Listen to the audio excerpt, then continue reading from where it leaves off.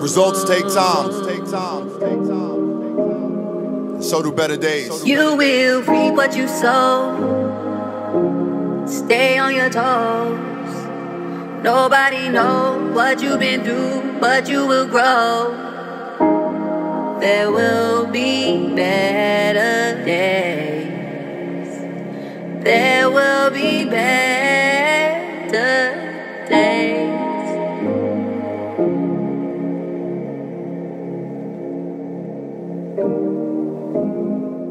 Hilltop Hoops Westside Revival is brought to you by Galaxy Health Family Practice. Galaxy Health is accepting new patients today. Located at 421 Georgesville Road, just across from Sullivan Avenue and Hollywood Casino, Galaxy Health serves the Westside community. Founded by nurse practitioner and CEO Miki Watts, a proud 1996 graduate of West High School, Galaxy Health exists to serve the Hilltop and surrounding communities. You can find out more about Galaxy Health today by visiting galaxyhealthfp.com or by calling 614 272 7700. Follow Galaxy Health on Facebook, Twitter, and Instagram at Galaxy Health Family Practice. Galaxy Health will make a donation to rescuing leftover cuisine to feed those in need for every new patient that comes from their partnership with this documentary. Just mention 270 Hoops or the Hilltop Hoops series when you schedule your appointment. Support Mickey Watts and Galaxy Health Family Practice and your local community by scheduling an appointment today.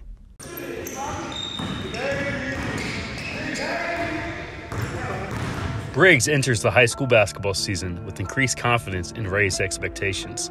Before the Bruins hit the hardwood, first it's time for them to try out the brand new Nike home and away uniforms that have been provided to them from 270 Faith. Look good, feel good, play good, right? That's what Briggs is hoping for this season. We have a lot more pieces coming in. I think we're going to work more as a team. Last year was like our, most of our first years of varsity, so it's going to be our second year. We build more chemistry, and we're looking forward to this year too. I think this year, looking forward to it. Um, uh, Keon Stevens Ford is definitely the glue to the team with his defense and all around point guard play. Um, looking forward to getting a lot of my sophomore, Jordan. Uh, Jordan is definitely works hard, one of the hard workers. I like my new guy I got in here, TJ. He's electrifying. Little guy, he's very electrifying. TJ's electrifying. Um, I got I got a ring in the center as a senior with Sadiq Reeves, and he's just you know I can get that out of him, I can get that that, that, that it out of him. He has a lot. He's kind of built like Curry, but I just got to get that confidence in him. He, he has a lot of uh, skill set. I'm just trying to get that out of him, and that, that's big for him. You also may hear from uh, Jacquees Keaton. Jacquees Keaton is another guy that came in here freshman year. You wouldn't believe who he is right now.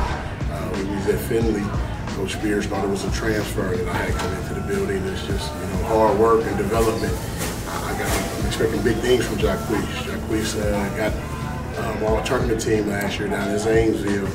Um, then the point guard went down, and, and things went haywire after that. But uh, I'm looking for big things out of these young men. Head coach Tony Rice enters his 13th season leading the Briggs program.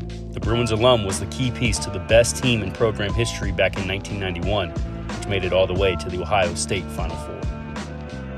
You know, back then that's it was it was fun.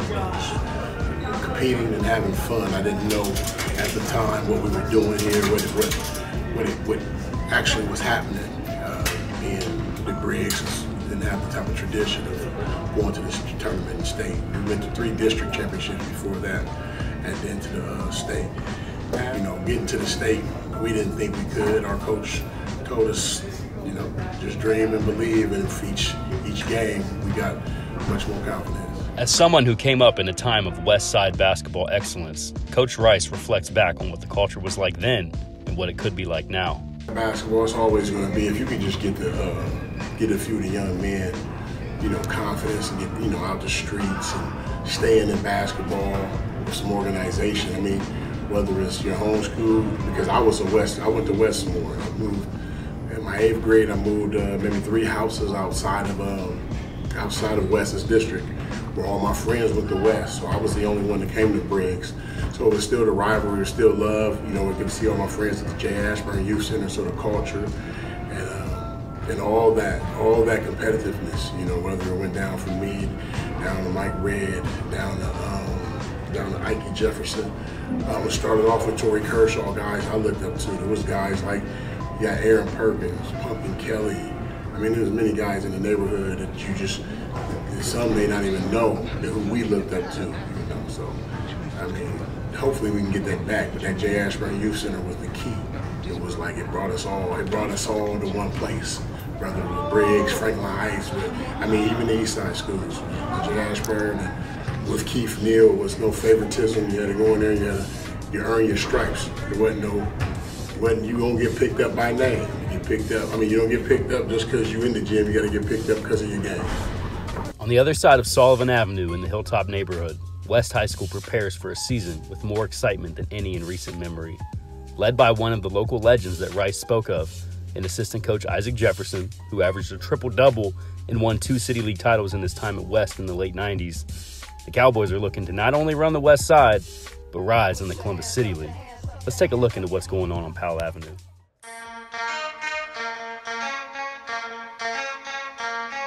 Uh.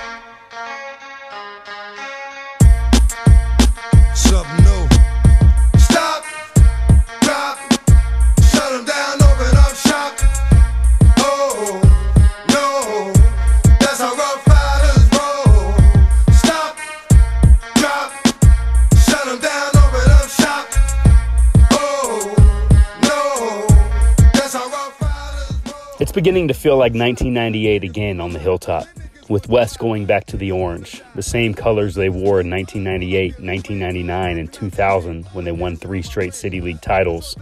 West is looking to get back to winning. With a young group of mainly sophomores and juniors, West has a bright future. This core group was involved all summer long at the 270 Faith Hoops and Hope, attending basketball Bible studies, committing their lives to Jesus Christ, and three of the four young men that we saw in the photo shoot even getting baptized. This spiritual change has led to a basketball change at West. It's different attitudes and, and body languages towards this season than it was last year season. Last year we had like 14 people this year. We had like 25, 26. So it's a big improvement. You see people more hungry. They want to make West better, and that's what we're here for. Johnson will have a new backcourt teammate with whom he's very familiar with, with sophomore Jamir Johnson, his blood cousin. Johnson comes over from Harvest Prep and is one of the very best playmakers in the 2025 class. Last year, Harvest Prep, I learned a lot. I, uh, we won a lot of games, so I really learned how to win. So I feel like I can bring that over and help us win a lot of games this year. Uh, I feel like I'm like the leader of the team, lead everyone, and just give a good example so everyone can follow my lead. The Johnson cousins will have a handful of talented teammates to work with, but one they become very familiar with is junior wing Zaquan Gross. I personally got like better with um, being more aware of what's going on and like paying attention to everything on the court and um, controlling West, Briggs, and two other teams that we will cover at length in this series, Franklin Heights and Central Crossing, were busy in preseason preparation.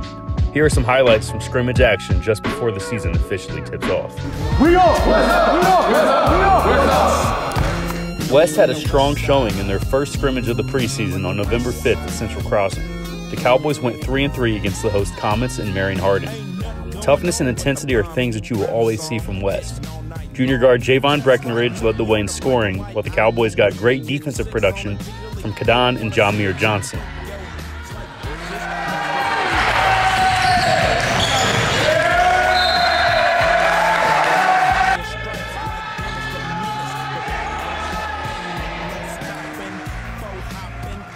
The last six seasons of West basketball have been difficult on the program. The Cowboys have had three different head coaches and have only won 19 games in that span. There is hope for optimism with this current team, however. West is hopeful that this team can return the program to a double digit win season, which has happened just one time since 2005 when the Cowboys won 14 games during the 2015 16 campaign. That team was very competitive in the City League, winning games against the top powers in the South Division and earning a top 30 seed in the district tournament. West has the pieces to get back to that type of success. However, it will require an all around team effort to be possible. Central Crossing returns to the floor in 2022 with a relatively young team compared to what they had last season. The Comets were powered by star senior Sean McGee, who helped Central Crossing start a season 3 0 for the first time in school history. Behind the star power of McGee, things looked up for the Comets in the early going of Brent Cahill's first season. However, lagging late, the Comets finished 9 14 on the year. This season, the Comets will look to a few players that impressed in the scrimmage on November 5th. Senior Mohamed Barate is an impressive athlete who has the potential to be an impactful post player. Junior guards Luke White and JD Laws were the main scorers in the scrimmage action against West and Marion Harding. However, the Comets have a sophomore that might just change the course of this program. While he wasn't able to play in the scrimmage, Central Crossing gets a major boost in sophomore Kent Hairston. The 6'6 guard comes in from Licking Heights and will look to get back to the level of play that he had in the summer of 2021 when he picked up a few Division 1 offers. If Hairston plays to his potential, the Comets will be able to compete in the OCC Buckeye this winter.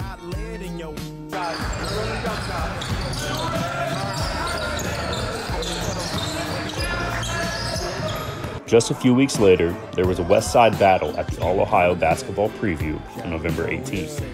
We had the chance to check out Westland and Briggs compete on the hardwood just before the official start of the season.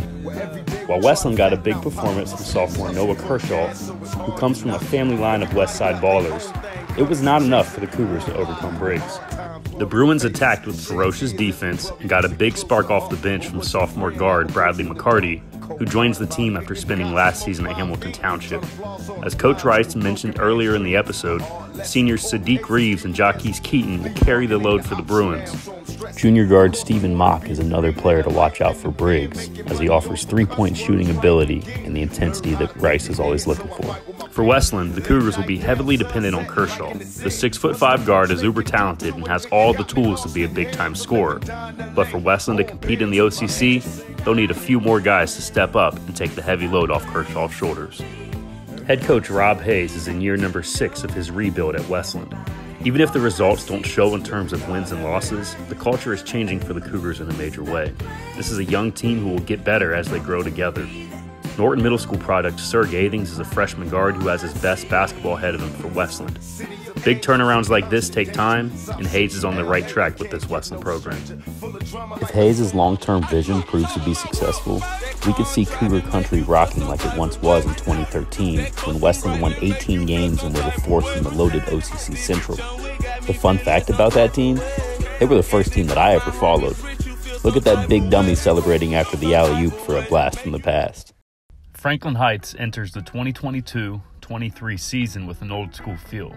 The Falcons had an unexpected coaching vacancy in October and brought in longtime Grove City coach Ray Miller to lead the program.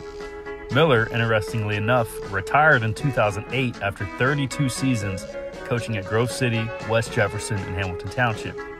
In those 32 years, Miller amassed over 300 wins and led Grove City to a 1999 district championship while being named State Coach of the Year twice. Miller takes over a team that lost a great deal of talent to graduation last year. Despite only winning three games, Franklin Heights was dominant in those three wins, beating Grove City, Canal Winchester, and Westland, each by double digits. Departed seniors Muhammad Ibrahim and Maurice Bozeman were terrific scorers that this program will greatly miss. The Falcons will be led by senior guards Billy Berry and Abdul Fofana. Berry is a physical ball handler who can play both on and off the ball. He offers three point shooting ability and defensive toughness that the Falcons will need. Fofana, on the other hand, is highly talented and has the potential to be one of the better two way guards in the OCC. This backcourt is dynamic, and if the Falcons can get it going, they will rely greatly on these two to lead the team. Coach Miller has his work cut out for him in reviving a program that is in desperate need of discipline and accountability. If Miller can get his imprints on this team by season's end, we should see Franklin Heights exceed last year's win total. Franklin Heights has not won double digit games since 2014 when Akean Frederick and a talented senior class had success in the OCC capital. The Falcons can take the first step towards returning to past glory a week from tonight when they open up their season at home against West.